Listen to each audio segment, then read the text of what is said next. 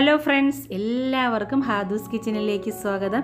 ഇന്ന് ഞാൻ കുക്കിംഗ് വീഡിയോയുമായിട്ടാണ് നിങ്ങളുടെ മുന്നിൽ വന്നിരിക്കുന്നത്. ഇന്നൊരു വെറൈറ്റി മുട്ടക്കറിയാണ് തയ്യാറാക്കുന്നത്. ഈ രീതിയിൽ മുട്ടക്കറി ആരെങ്കിലും തയ്യാറാക്കിയിട്ടുണ്ടോ എന്ന് എനിക്ക് തോന്നുന്നില്ല. ഇതൊരു വെറൈറ്റി മുട്ടക്കറി തന്നെയാണ് കേട്ടോ. അപ്പോൾ നമുക്ക് ഈസി ആയിട്ട് ടേസ്റ്റി ആയിട്ടുള്ള മുട്ടക്കറി എങ്ങനെയാണ് തയ്യാറാക്കുന്നതെന്ന് നോക്കിയാലോ. മുട്ടക്കറിക്ക് ആവശ്യമായ സവാള ഞാൻ കട്ട് ചെയ്തെടുത്തിട്ടുണ്ട്. നാല് വലിപ്പമുള്ള സവാളയാണ് കേട്ടോ സ്ലൈസായിട്ട് കട്ട് ചെയ്ത് വെച്ചിരിക്കുന്നത്. ആദ്യം നമുക്ക് ഈ സവാള ഒന്ന് ഫ്രൈ ചെയ്തെടുക്കണം. അപ്പോൾ നമുക്കിതൊന്ന് ഫ്രൈ ചെയ്തെടുത്തിട്ട് വരാം. സവാള ഫ്രൈ ചെയ്തെടുക്കാൻ ആവശ്യമായ ഓയിൽ നമുക്ക് ഈ ചൂടായ പാനിലോട്ട് ഒഴിച്ചു കൊടുക്കാം.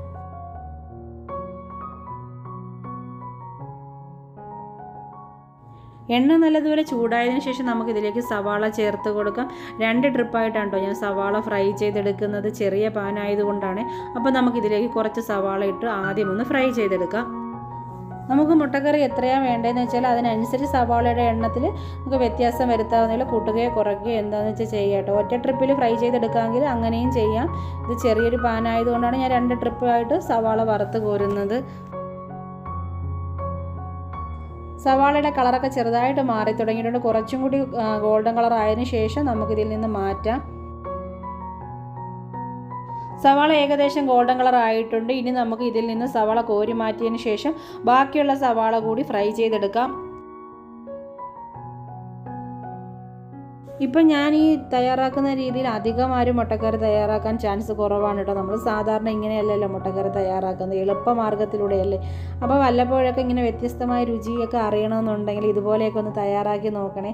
ഒരു വട്ടം നിങ്ങൾ തയ്യാറാക്കിയാൽ നിങ്ങൾ വീണ്ടും ഇതുപോലെ തന്നെ തയ്യാറാക്കാൻ നോക്കും. അപാര ടേസ്റ്റ് തന്നെയാണ്.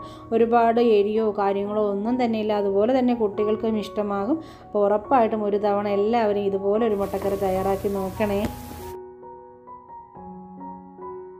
അങ്ങനെ എല്ലാ സവാളയും ഫ്രൈ ചെയ്തെടുത്ത് കഴിഞ്ഞു. ഇനി നമുക്ക് ഇതും പാത്രത്തിൽ നിന്ന് റിമൂവ് ചെയ്തതിന് ശേഷം നല്ല പേസ്റ്റ് രൂപത്തിൽ മിക്സിയുടെ ജാറിലിട്ടൊന്ന് അരച്ചെടുക്കാം. വലിയ നാല് സവാള വറുത്തെടുത്തതാണ് ഇത്രയും. ഇനി നമുക്കിതൊരു മിക്സിയുടെ ജാറിലിട്ട് നല്ലതുപോലെ തന്നെ ഒന്ന് അരച്ചെടുക്കാം. പേസ്റ്റ് രൂപത്തിൽ വേണം കേട്ടോ അരച്ചെടുക്കാൻ.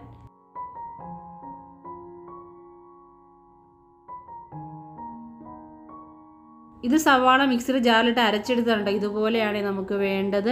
ഇനി നമുക്ക് അടുത്തതായിട്ടെന്ന് വെച്ചാൽ കുറച്ച് കാഷ്യൂനായിട്ട് ഞാൻ നേരത്തെ തന്നെ വെള്ളത്തിൽ ഇട്ട് വെച്ചിരുന്നു.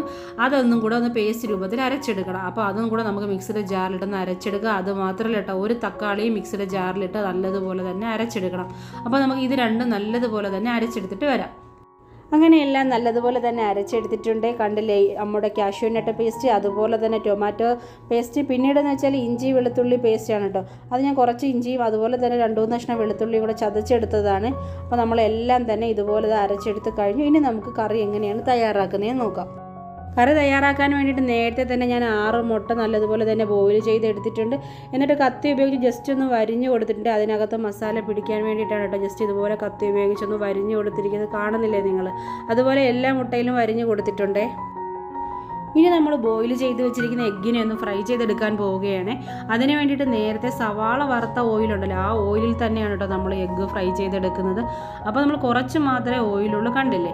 ഇനി നമുക്ക് ഇതിനകത്തോട്ട് ഒരു ടീസ്പൂണോളം മുളക് പൊടി ചേർത്ത് കൊടുക്കാം. ഞാനിവിടെ ഒരു ടീസ്പൂണോളം കാശ്മീരി ചില്ലിയാണ് കേട്ടോ ആഡ് ചെയ്ത് കൊടുക്കുന്നത്. അതാകുമ്പോൾ കളറും കാണും എരിവും കാണത്തില്ല. അതിന്റെ കൂടെ തന്നെ ഒരു അര ടീസ്പൂണോളം മഞ്ഞൾപ്പൊടി കൂടി ആഡ് ചെയ്ത് കൊടുക്കണം.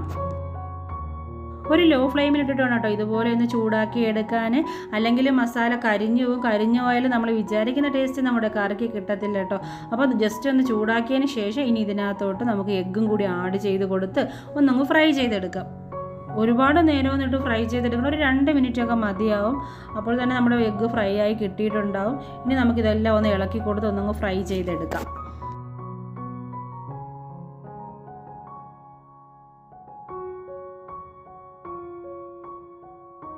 അങ്ങനെ നമ്മുടെ എഗ്ഗ് ഫ്രൈ ആയി കിട്ടിയിട്ടുണ്ട്. ഇനി നമുക്കിതൊരു ബൗളിനകത്തോട്ട് മാറ്റി കൊടുക്കാം.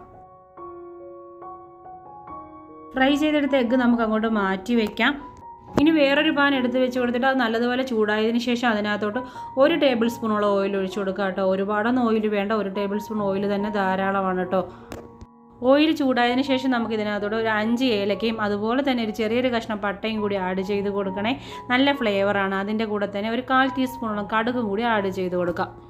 കടുക് പൊട്ടി തുടങ്ങുമ്പോൾ നമ്മൾ ഇതിനകത്തോടെ ഒരു കാൽ ടീസ്പൂണോളം വലിയ ജീരകം അതായത് പെരുംജീരകം കൂടി ആഡ് ചെയ്ത് കൊടുക്കണം.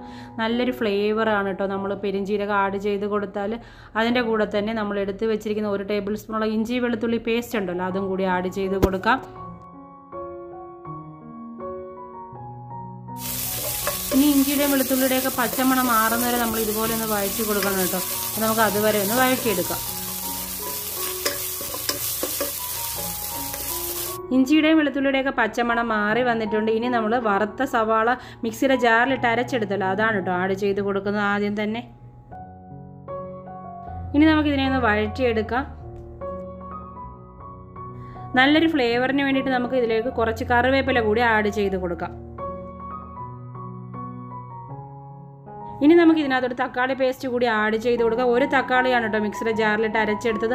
അതും കൂടി ഒഴിച്ചു കൊടുക്കാം. ഇനി ഇതെല്ലാം നല്ലതുപോലെ തന്നെ ഒന്ന് വഴറ്റിയെടുക്കണം. നമ്മൾ ഇതിൽ ഉപ്പ് ചേർത്ത് കൊടുത്തിട്ടില്ല കേട്ടോ. ഇനിയാണ് നമ്മൾ ഇതിൽ ഉപ്പൊക്കെ ആഡ് ചെയ്ത് കൊടുക്കുന്നത്. ഉപ്പ് ആഡ് ചെയ്ത് കൊടുക്കുന്നതിന് മുമ്പായിട്ട് നമുക്ക് ഇതിനകത്തോട്ട് ഒരു സാധനം കൂടി ഒഴിച്ചു കൊടുക്കണ്ടേ? അതായത് നമ്മുടെ കാഷ്യൂനട്ട് പേസ്റ്റ് കൂടി നമ്മൾ ഇതിനകത്തോട്ട് ഒഴിച്ചു കൊടുക്കണം. നല്ല തിക്കായിട്ടാണ് കേട്ടോ നമ്മൾ കാഷ്യൂനട്ട് അരച്ചെടുത്തിരിക്കുന്നത്. കാഷ്യൂനട്ട് നമ്മൾ നേരത്തെ തന്നെ വെള്ളത്തിലിട്ട് വെക്കണം കേട്ടോ. എന്നാലേ നല്ലതുപോലെ നമുക്ക് അരച്ചെടുക്കാൻ പറ്റുള്ളൂ മിക്സിയിൽ അപ്പോൾ ജസ്റ്റ് ഒന്ന് കറക്കി എടുത്താലും മതി. ഒരു പത്ത് പതിനഞ്ച് മിനിറ്റിന് മുമ്പേ തന്നെ നമ്മൾ വെള്ളത്തിലിട്ട് വെക്കണം കാഷ്യൂനട്ട് ഇനി നമുക്ക് ഉപ്പും കൂടി ആഡ് ചെയ്ത് കൊടുക്കുക. ആവശ്യമായ ഉപ്പും കൂടി ആഡ് ചെയ്ത് കൊടുത്ത് നല്ലതുപോലെ തന്നെ ഇളക്കിയെടുക്കുക. ഒരു അര ടീസ്പൂണോളം ഉപ്പ് മതിയാവും. അപ്പോൾ എല്ലാം നല്ലതുപോലെ ചൂടായി വന്നിട്ടുണ്ട്. ഇനി ഇതിനകത്തോട്ട് ഒരു ടീസ്പൂണോളം മുളക് പൊടിയും അതുപോലെ തന്നെ ഒരു അര ടീസ്പൂണോളം മഞ്ഞൾപ്പൊടി കൂടി ആഡ് ചെയ്ത് കൊടുക്കണം. കാശ്മീരി ചില്ലി അല്ലേ ഞാൻ ആഡ് ചെയ്ത് കൊടുത്ത സാധാ എരിവുള്ള മുളക് പൊടി തന്നെയാണ് കേട്ടോ ആഡ് ചെയ്ത് കൊടുത്തിരിക്കുന്നത്. ഓരോരുത്തരെയും വീട്ടിലെ മുളക് പൊടിയുടെ എരിവ് അനുസരിച്ച് വേണം കേട്ടോ ആഡ് ചെയ്ത് കൊടുക്കാൻ എരിവ് കൂടുതലുണ്ട് എന്നുണ്ടെങ്കിൽ അര ടീസ്പൂണോളം മുളക് പൊടി മാത്രം ആഡ് ചെയ്ത് കൊടുത്താൽ മതി. ഇതിന്റെ കൂടെ തന്നെ ഒരു ചെറിയ ടീസ്പൂൺ രണ്ട് ടീസ്പൂണോളം ഞാൻ മല്ലിപ്പൊടി കൂടി ആഡ് ചെയ്ത് കൊടുക്കുന്നുണ്ട്. ഇനി മുളക് പൊടിയുടെയും മല്ലിപ്പൊടിയുടെയൊക്കെ പച്ചമണം മാറുന്നവരെ നമ്മൾ ഇതുപോലെ ഒന്ന് വഴറ്റി കൊടുക്കണം. അതിനുശേഷം നമുക്ക് ഇതിനകത്തോട്ട് കുറച്ച് കറുമസാല കൂടി ആഡ് ചെയ്ത് കൊടുക്കേണ്ടതായിട്ടുണ്ട്. ഇനി ഇതിനകത്തോട്ട് ഒരു അര ടീസ്പൂണോളം കറി മസാല കൂടി ആഡ് ചെയ്ത് കൊടുക്കുകയാണെങ്കിൽ വീട്ടിൽ തന്നെ പൊടിച്ച മസാലയാണ് കേട്ടോ ഞാൻ ആഡ് ചെയ്ത് കൊടുത്തത്. അതാകുമ്പോൾ നല്ല ഫ്ലേവറാണ് നമ്മുടെ കറിക്ക്. അപ്പോൾ മസാലയൊക്കെ നല്ലതുപോലെ തന്നെ ചൂടായി വന്നിട്ടുണ്ട്. ചൂടായി വന്ന മസാലയിലേക്ക് നമുക്ക് നല്ല തിളച്ച വെള്ളം കൂടി ഒഴിച്ചു കൊടുക്കണം. ഒരു രണ്ട് ഗ്ലാസ് വെള്ളത്തോളം ഞാൻ ഒഴിച്ചു കൊടുക്കുന്നുണ്ട്. നമുക്ക് എത്ര കറിയുടെ അളവ് അനുസരിച്ച് അതിനനുസരിച്ച് വെള്ളം കൂട്ടുകയോ കുറയ്ക്കുകയോ ഒക്കെ വേണം. നല്ല തിക്കായിട്ടിരിക്കുകയാണെങ്കിൽ വെള്ളത്തിന്റെ അളവ് കുറച്ചാൽ മതി കേട്ടോ. കുറച്ച് തിക്കായിട്ടിരിക്കുന്നതാണ് നമ്മുടെ കറിക്ക് ടേസ്റ്റും. കറി ഒന്ന് തിളച്ചതിന് ശേഷം നമുക്ക് ഇതിനകത്തോട്ട് ഫ്രൈ ചെയ്ത് വെച്ചിരിക്കുന്ന മുട്ടയുണ്ടല്ലോ അതും കൂടി ആഡ് ചെയ്ത് കൊടുക്കാം. അങ്ങനെ കറി കുറുകി തുടങ്ങിയിട്ടുണ്ട്. ഇനി ഇതിനകത്തോട്ട് നമ്മൾ ഫ്രൈ ചെയ്ത് വെച്ചിരിക്കുന്ന എഗ്ഗ് കൂടി ആഡ് ചെയ്ത് കൊടുക്കാം.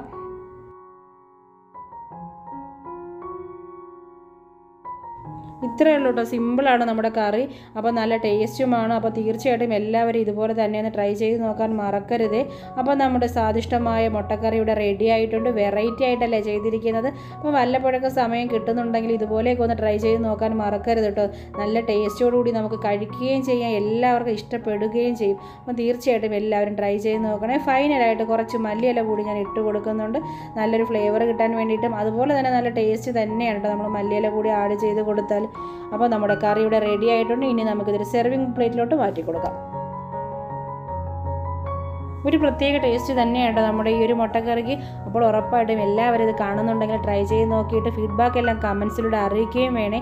അതുപോലെ തന്നെ ഹാദൂസ് കിച്ചൺ എന്ന ചാനൽ ഫസ്റ്റ് ടൈമായിട്ട് ആരെങ്കിലുമൊക്കെ കാണുന്നുണ്ടാവും. കണ്ട് ഇഷ്ടമായാൽ ഉറപ്പായിട്ട് സപ്പോർട്ട് ചെയ്യണം. സപ്പോർട്ട് ചെയ്താൽ മാത്രം പോരട്ടോ സബ്സ്ക്രൈബ് ചെയ്യുകയും തൊട്ടടുത്ത് കാണുന്ന കുഞ്ഞു ബെല്ലൈക്കൺ കൂടി പ്രസ് ചെയ്യുമ്പോൾ ഓളെന്ന ഓപ്ഷൻ കാണും. അതിൽ കൂടി പ്രസ് ചെയ്യാൻ മറക്കരുതേ. എങ്കിലേ അടുത്ത വീഡിയോ ഇടുന്ന സമയത്ത് അതിന്റെ നോട്ടിഫിക്കേഷൻ നിങ്ങൾക്ക് കിട്ടുകയുള്ളൂ. അതുപോലെ തന്നെ നിങ്ങളുടെ ഫാമിലിക്ക് ഫ്രണ്ട്സിന് റിലേറ്റീവ്സിനൊക്കെ ഷെയർ ചെയ്ത് കൊടുത്ത് എന്നെ സപ്പോർട്ട് ചെയ്യാൻ മറക്കരുത്. ഇനി നമുക്ക് നെക്സ്റ്റ് ടൈം ഇൻഷാല്ല മറ്റൊരു വീഡിയോയുമായി വീണ്ടും കാണാം. അതുവരേക്കും ടേക്ക് കെയർ ബൈ